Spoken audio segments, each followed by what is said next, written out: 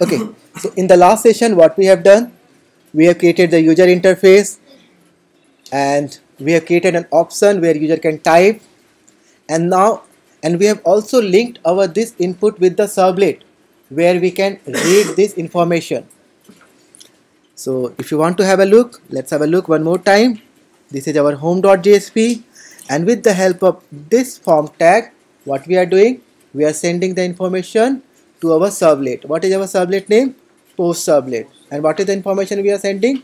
Uh, one information only post. So let's go here to the post servlet. Now we have that information. The information whatever the user is typing. Again here also we can put some kind of restrictions like posts cannot be empty and all. We'll do all those validation later on. Now our task is what we need to save this information to the database. And since we are using hibernate what we have to do now we have to create a pojo class and a mapping file. Okay? So in the pojo class now i will go and i will create a one class called post. Okay? Or i will call you can also call it user post.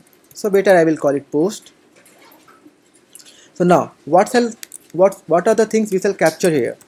One is mandatory always when we are working with what? Hibernate.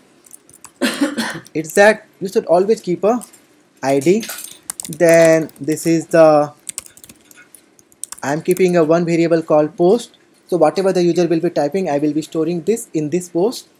I'm also keeping a one variable name int uh, let's suppose there's a like count. Later on if time permits us then we'll increase we'll perform like count. Then suppose int dislike. I know there will be a lot of dislikes. And later on we'll do what? Int user id I'm also capturing the user id so this user id column will do what? It will capture the information which user is creating this post. Oh it's a small reference key. And after this what we have to do? We have to create a getter setter. Control a control shift f. And since now if you are if you want to use jdbc we are okay. We do not need to create any mapping file. But since we are using what? Hibernate so what i will do we have to create a one mapping file. Mapping file for this post class. And so let's create a mapping file. I will cop take a reference of the user one. Control C control V. And my mapping file name I will keep post. And it should be post.hbm.xml okay so post file has been created now tell me what is my package name? Fully qualified name of the class in.cdac.post so this is the prototype of your class and my table name will be let's suppose hbm underscore post okay? And now here id we know for the id now we do not have to do anything. And now here what are the things we have to change instead of name username what the things are there? Post. Column name is also let's suppose post. And the ty type is also what? String. And what are the other things? Like count and dislike count. I also need to check. Type will be what? Int. Int. Int. And the variable name let's suppose like count. So now what we are doing? We are just mapping and we are trying to keep both our data member name and column name what? Same. And why we have changed the type? From string to int because the data type is what? Integer now. And now let's map with what? Dislike count. And the third one is what? User id so who is creating this post? So what we have done? We have successfully what we have done we have created a pojo class and we have created a mapping. If you are working with the hibernate this become mandatory. So now what I will do? Now we'll go where? We'll go to our post servlet class. Because here only we need to do what? We have to do the database call now.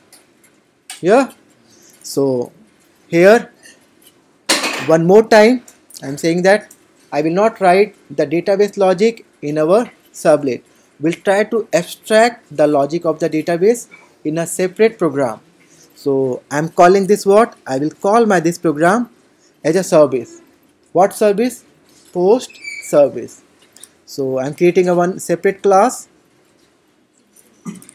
Post service. So why post service? Because that post service will do all the database related operation with the how to how to add a record how to add a post how to update a post so again here I will do smartly will create two kinds of method. One method will be JDBC related and another can be your Hibernate related. So I'm calling public static uh, and I will call create post JDBC that means an approach with the JDBC what will be the input parameter here? At input parameter will be string and post. The basic thing. And return type. Let's suppose return type is boolean. We need to say that it's success or failure. So right now return false and I'm making it what? To do. Now I will call create another method. The method of what? Instead of JDBC HBM1 now let's try to implement this. So what is the first thing we need? We need a session factory. Hibernate util dot session factory. That's why we have created a util class so that we can use it again and again. Session factory and we can call it session factory. Okay. So are we done? No. So with the help of session factory what we will do? Open a session. Because this session help us to add a object into where? Into the database so let's import the session from the org hibernate. Now since we are trying to do what kind of operation? Add a record. So what we have to do? We have to begin transaction. Session dot begin transaction. This will return transaction tx whatever the variable name you want to keep. And now we have to do what? We have to create an object of post new post. And what are the things I will write here? Post dot set post is equal to whatever the message is coming from the user. Post. Okay so we cannot okay.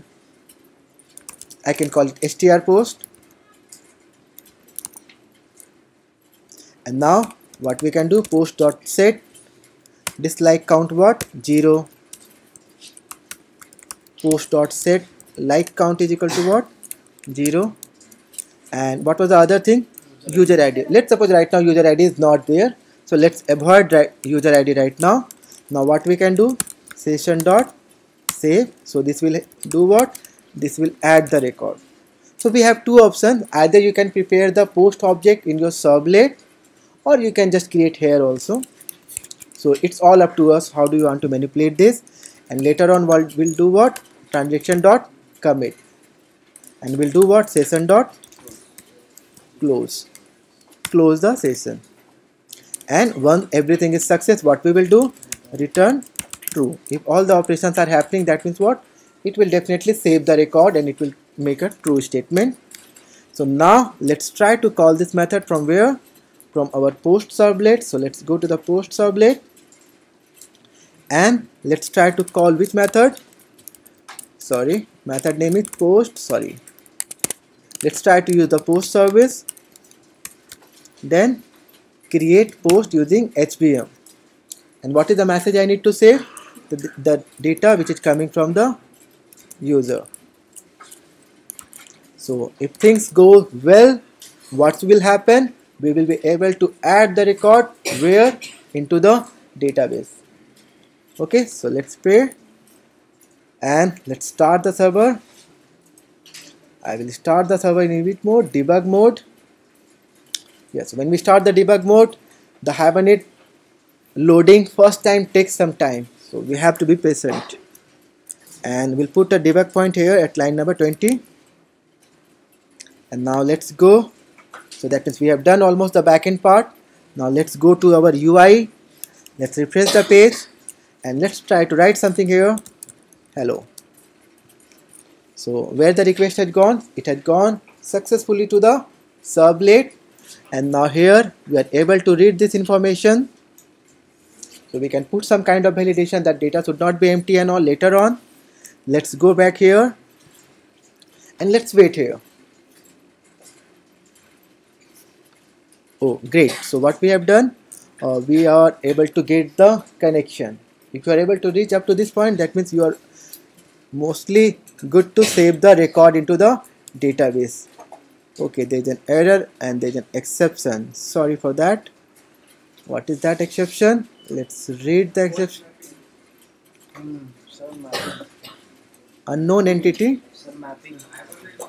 Okay so we have to add that mapping. Very nice. So we have to add this mapping where? Into the hibernate config.xml sorry for that. We have not added here.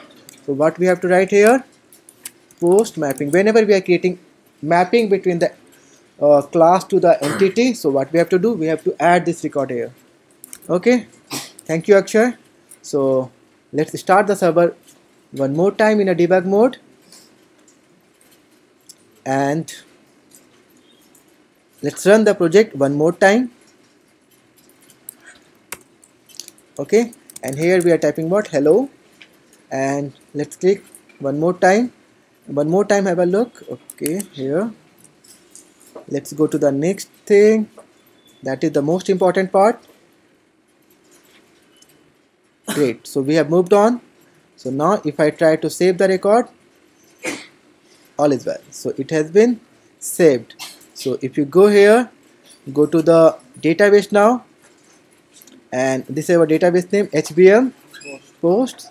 So you can see that we have added a record added a record successfully. So and we can okay wow it's cool. So what we have done we have added a post message to the database. So now let's start the server in a normal mode instead of debug mode. Now we can write some more thing here. Thank you. And we can click on what? Post.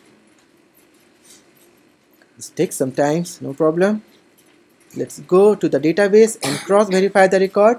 So we are able to add some kind of post whatever the the way we are adding in facebook or linkedin instagram.